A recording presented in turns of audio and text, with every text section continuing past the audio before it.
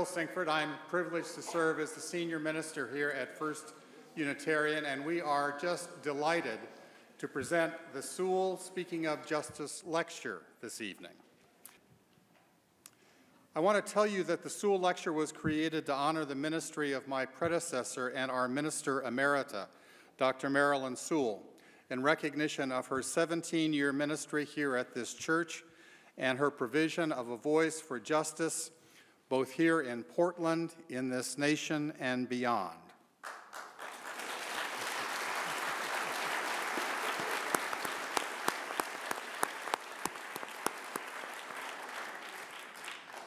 Our lecturer tonight is Thom Hartmann, and Thom needs very little introduction to most of you. He is a nationally and internationally syndicated progressive talk show host on radio and television and on the internet, he is one of the most widely heard progressive voice voices in the United States today. He's also the author of more than, I think it's 20 books on subjects ranging from the Federalist Papers, climate change and electronic vote rigging, to attention deficit hyperactivity disorder. Whoever said there were no more Renaissance women and men obviously did not know Thom Hartmann. Bill McKibben writes of Thom, he has been one of the very few voices constantly willing to tell the truth. Rank him right up there with Jon Stewart, Bill Moyers, and Paul Krugman for having the sheer, persistent courage of his convictions. Thom's subject tonight, amen.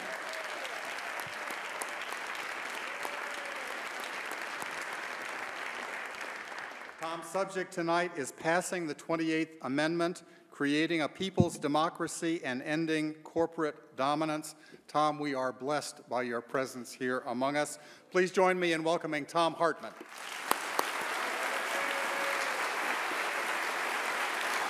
Thank you very much. Thank you. Thank you.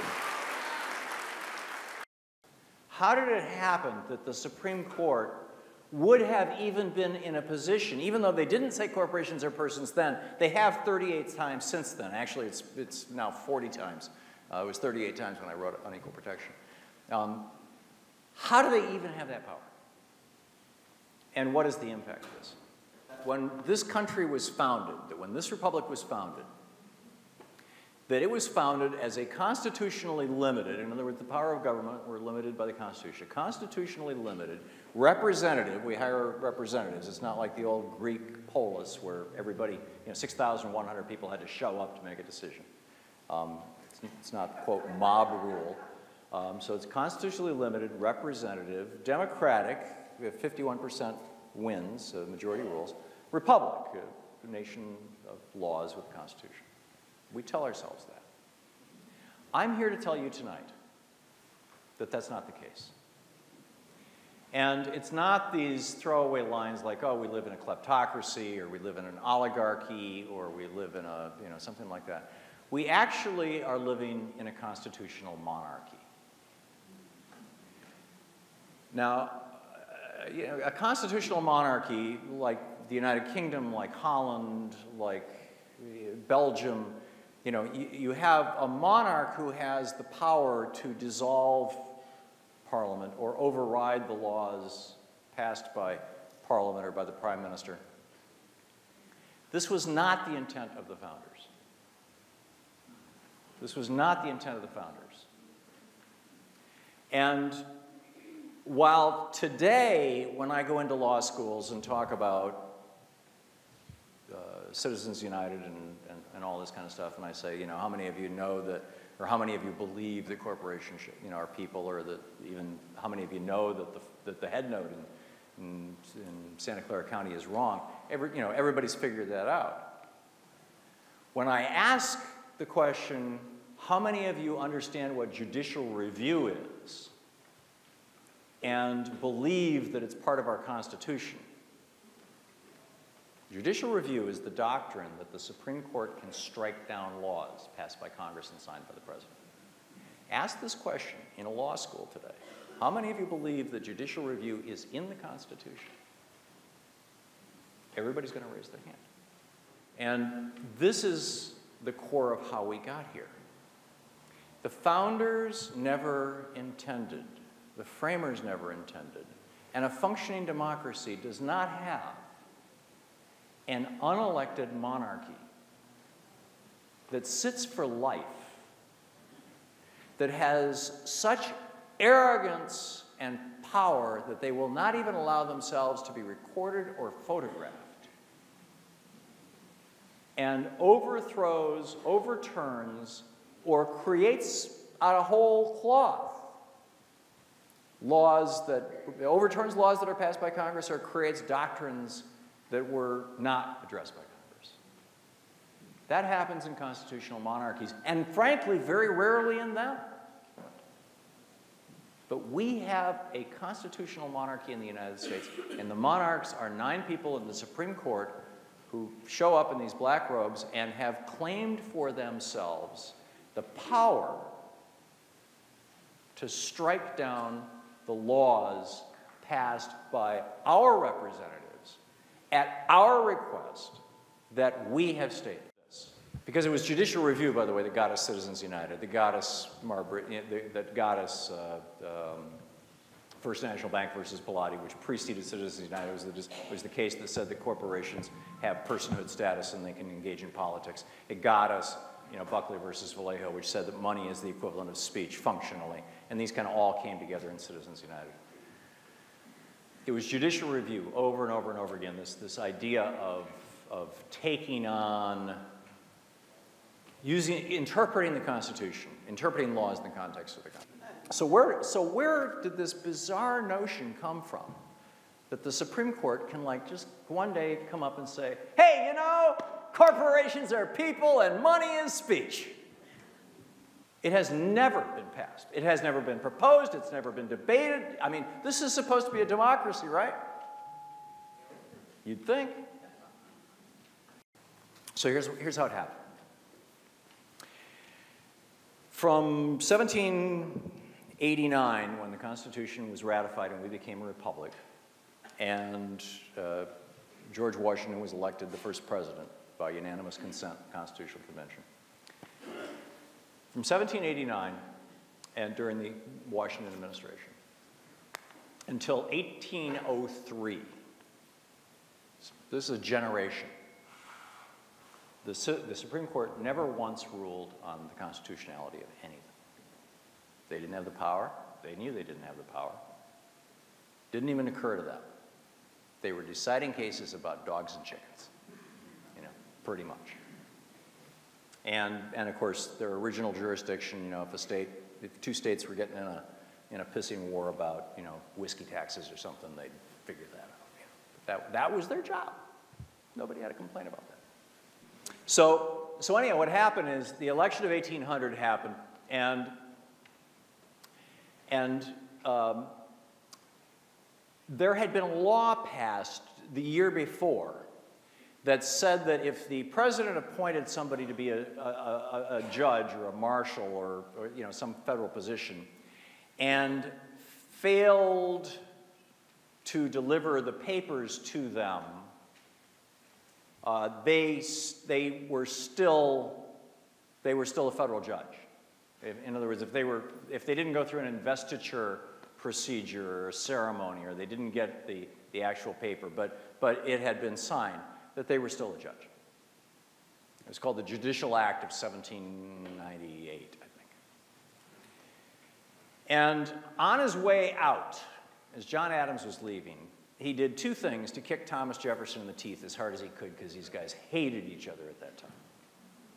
The first was he put Jefferson's third cousin and most bitter political enemy on earth as Chief Justice of the Supreme Court, John Marshall who then proceeded to sit on the Supreme Court for another 34 years. And the second thing he did was he created 20, 30 some odd, I don't forget the exact number, brand new federal judgeships and, and positions, various judiciary positions, and uh, Article 3 positions, and, and had his Secretary of State run around and pass out the papers to all these people. So when Jefferson came in, there was five or six of these that hadn't been delivered, and one of them was, uh, and James Madison was the Secretary of State, and, of, and they were on Madison's desk. And Jefferson said to Madison, don't deliver those papers. We're not going to let these, you know, we're not going to let Adams do any more damage to us, because Adams basically had packed the federal courts. And one of the guys who had gotten an appointment was a fellow by the name of Marbury. And he was pretty upset that he was not getting his job. And so he sued. And it went through a couple, it went through an appeals court, federal appeals court, and then it went before the United States Supreme Court in 1803. And the case was called Marbury versus Madison. Marbury was the guy who thought he should get the judgeship, even though he didn't get the paperwork. Madison was the Secretary of, the, of State who was supposed to deliver it to him, or, and didn't. In that case, Justice Marshall ruled in favor of the Jefferson administration, saying that Marbury didn't get his judgeship because the papers hadn't been delivered, and struck down the Federal Judiciary Act of 1798. In other words, they it was the first exercise of judicial review. Now, this put Thomas Jefferson in this horrible position because he couldn't appeal a decision that he had just won. And yet he thought it was insane that the Supreme Court should have the power to strike down a law that had been passed by Congress. Here is what he said if this opinion be sound, then indeed is our Constitution a complete felo de se, which is Latin for suicide pact. For intending to establish three departments, coordinate and independent, that they might check and balance one another, it has given, this decision, Marbury versus Madison, it has given, according to this opinion, to one of them alone The Constitution on this hypothesis is a mere thing of wax in the hands of the judiciary, which they may twist and shape into any form they please. Thomas Jefferson, 1803, going bonkers about, about uh, judicial review. He goes on to say, it should be remembered as an axiom of eternal truth in politics that whenever power in any government is independent, it is absolute also. He's talking about the Supreme Court In theory only at first, while the spirit of the people is up, he's talking about his own time. You know, people are looking around going, why are you so upset? I mean, it was just Mr. Marbury didn't get his job. Come on, get over it, Thomas. In theory only at first, while the spirit of the people is up, but in practice, as fast as that relaxes. Independence can be trusted nowhere but with the people in mass.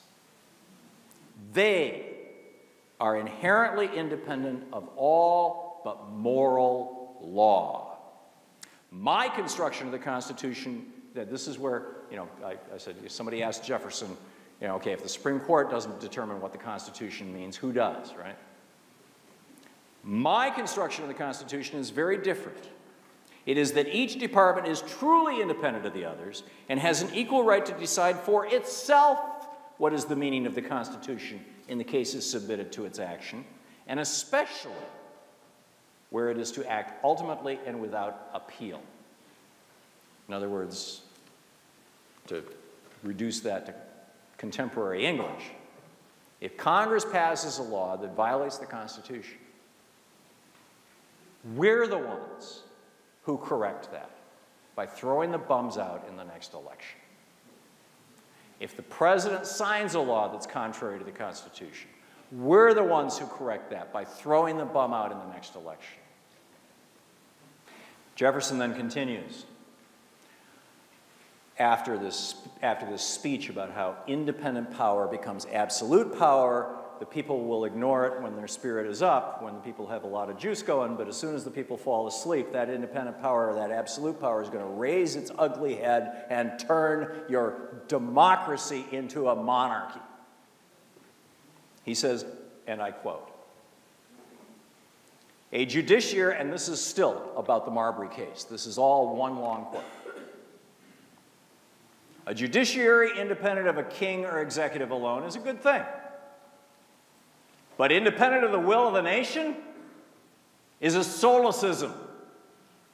Nice 18th century word for a blunder, a stupid thing, a horrible error, an unbelievably hor- horrible error. At least in a Republican government. Small r. End of quote. So, this is how, you know, people, people uh, hear about the, uh, the court packing scheme that, that uh, FDR was involved in in 1937. In 19, you know, the New Deal really started in 1933, and FDR was, you know, things like, you know, minimum wage laws and, and unemployment insurance and, and uh, you know, all, all this kind of cool stuff. And um, the Supreme Court just started knocking it down, as they had been since, I mean, they, they knocked down the, you know, so that uh, the minimum age to work, it, uh, you had to be 12 years old to work. They knocked that down in like 1910 or 1911 or something like that. And, and finally, uh, FDR just got so PO'd about the whole thing in 1937 that he said, okay, that's it. Article 3, Section 2 of the Constitution says Congress can regulate the Supreme Court. Here's how we're going to regulate the Supreme Court. We're going to say there's nine guys on the Supreme Court, that's fine. At the time, by the way, four of them were over 70. Anybody who's on the Supreme Court who's over 70 becomes a Justice Emeritus, and in aggregate, all of the 70 plus year olds have one vote. to fill in the remaining votes, we'll put some more people on the bench.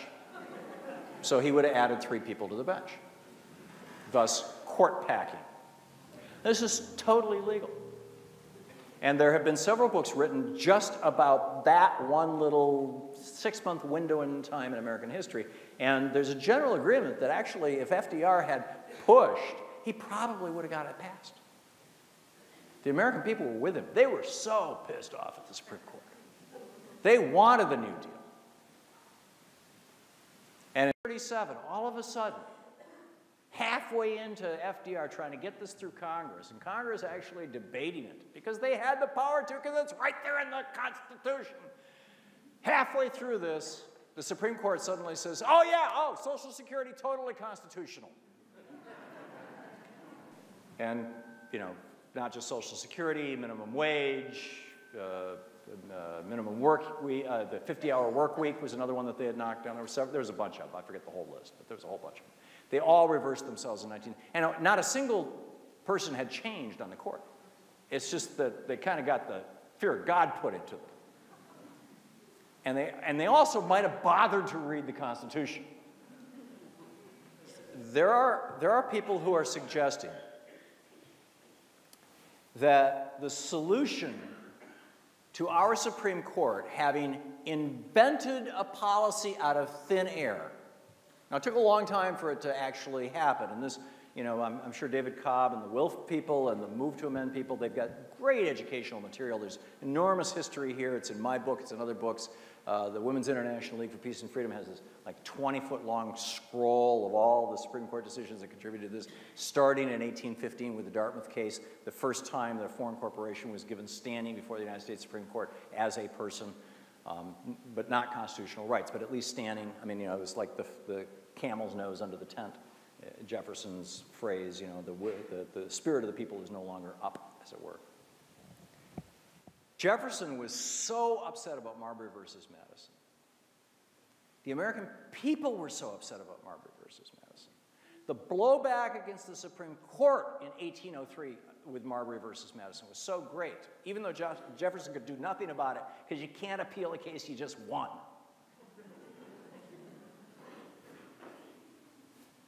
and he couldn't get Congress to pass a law saying, hey, wait a minute, let's, you know, because it's already in the Constitution. That the court waited two generations before they again decided something based on the Constitution before they engaged in judicial review. It was in 1856. Chief Justice of the Supreme Court was a fellow by the name of Roger Taney. And there was this horrible problem in the United States of slavery not being over. Even though the Constitution said that in 1808 the slave importation would be ended and the general consensus was within a generation slavery would be over. It didn't happen. John Quincy Adams, after he, was, after he left the White House, after he left uh, his presidency, went back to the House of Representatives just to fight against slavery, ran for the House of Representatives. You know, it was a big deal. So in 1856, Roger Taney says, Well, okay, we'll solve this problem once and for all. We're the friggin' Supreme Court after all. We got the power. We'll make a decision based on the Constitution. We will determine that the Constitution says that people of color are actually property. The, the decision was Dred Scott. That worked out real well, right? Instant civil war. That was the second time that the, that the, the court had used judicial review. Three or four generations before that, it was dogs and chickens. And then what do we get? The Civil War. And now we've got a Supreme Court that doesn't do anything except decide cases based on constitutionality, which they have no authority to do. They are making law every single day and they're doing it wrong. This is the job of Congress. It's right there in the Constitution. And it's the job of the president, if he thinks it's wrong, to veto it or to sign it if he thinks it's right, and then, and then to, to execute. So, anyhow, the reason, the reason I'm telling you all this backstory is because there are, are a couple of suggestions about what should we do about Citizens United. One of those suggestions is let's just wait until one of these old right wingers on the court croaks and hope that Obama or Hillary Clinton or somebody, some, some decent Democrat is in the White House and, and uh, or retires. I mean, we, we don't have to wish death on anybody. Sandra Day O'Connor retired. You know, it's a, I'm not wishing, I, I'm not wishing death on anybody. But basically, let's just wait until the composition of the court changes. The court will revisit Citizens United. They'll tweak it and recalibrate it, and everything will be fine. Bull. This is not the solution. Yes, one of the most important things that a president does is appointing Supreme Court justices. Why? Because we live in a constitutional monarchy. I mean, we have to understand this. This is a constitutional monarchy, and the monarchs are appointed by the president. And the president is the only guy that we get to elect. And that's why the presidential elections, frankly, are so much more important than anybody realizes. Because those five crazies on the Supreme Court, every single one of them was put there by a Republican. So, anyhow, there are people who are suggesting that, that, the, this, that a solution is to simply wait for the composition of the court to change. And I say no, because what will happen is you'll get a recalibration, you'll get a slight adjustment. But it leaves intact the idea that corporations have rights under the 14th Amendment, and it leaves intact the idea that money is somehow speech. And as I said when I first started, these are not just corrupting our politics. They're filling our foods with genetically modified organisms and pesticides. They're filling our air with poisons. They're filling our bodies with carcinogens. They're, they're devastating our children's neurological systems so that we're seeing an epidemic of, of, of, every, of birth defects and, and, quote, neurological disorders. They are, eh, eh, eh, they're, they're building a permanent war machine and now a permanent national security state. I mean, it just goes on and on and on. Because they have, because these corporations claim the power of persons to lobby their members of, their members of Congress. The Supreme Court's not going to blow that up. So that's one solution that's proposed. And I say, you know, that's all nice and good. And people say, just wait for the Supreme Court to change. Not going to be enough. So beware of politicians who are proposing half measures that sound good. Oh, yeah, we got to roll back Citizens United. It's a terrible thing. Let's just tweak it a little bit by saying we can regulate money in politics. Well, what's that going to do about Monsanto standing in court where they're claiming the right to not tell you what's in, their, in, your, in your food? Nothing. We need, we need instead to have a clean, clear, explicit unambiguous amendment to the United States Constitution. And unfortunately, we have to do it this way because ever since 1803, we have, we have had this constitutional monarchy, just as Thomas Jefferson predicted. The judiciary had, or the Constitution has become a thing of wax in the hands of, of the judiciary to be molded as it pleases. We don't need the Supreme Court. You know, forget this stuff about, you know, people say, oh, no, you've got to have judicial review. Otherwise, you know, we'd still have segregation and, and, and abortion would be illegal everywhere. No, sorry. Actually, I think that because it was the Supreme Court that decided Roe v. Wade, rather than legislatures across the United States, where the people spoke clearly and unambiguously, and the decision and the debate was put to bed because the people spoke, but instead because it was nine guys, and at that time it was nine men, in, in the Supreme Court all saying, oh, well, this is the way it is, it's still a point of contention. Right? This is, this, if, if anything, if, and, and, and the whole impeach Earl Warren, you know, Daddy Koch, Fred Koch, with his impeach Earl Warren signs all over the country. Those of you old enough to remember those in the 50s and 60s, John Birch Society, is because of, you know, Brown v. Board, 1954. Um, that I would, I would submit to you that the Supreme Court, with judicial review, has virtually never done this country any favors. From the second time it was used by Roger Taney in 1856 in Dred Scott to last week. There's just no need for it. As Thomas Jefferson said, let the people be the arbiters of what is the Constitution. So, in summary, we need an unambiguous amendment to the Constitution that says to the Supreme Court, hey,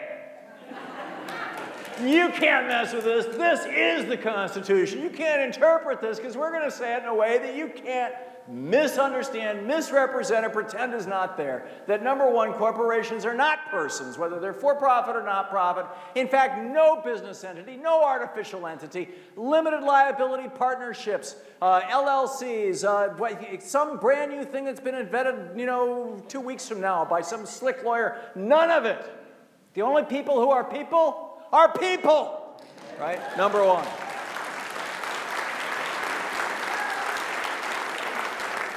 And number two, that says that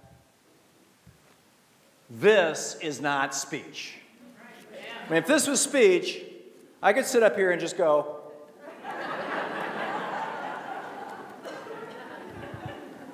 I don't, I don't see it happening. Money is not speech. And we just need to unambiguously say money is not speech and may be regulated for any purpose, including political purposes. I mean, especially we want to do it for political purposes, but really for any purpose. Money can be regulated because it is property. If we say those two things, and we have to have both of them, we could have a constitutionally limited democratic uh, republic, representative democratic republic, and our nation could once again become of democracy instead of a corrupted constitutional monarchy. Thank you. We've been watching video clips of Thom Hartmann's recent lecture here in Portland, Oregon at the Free Unitarian Church. His topic was Movement to Pass the 28th Amendment. Corporations are not people, money is not speech. If you agree that we should pass a 28th Constitutional Amendment, stating those sentiments. Please visit the website movetoamend.org and sign the petition. I hope that you've enjoyed this presentation and that you'll join us again next week. Bye.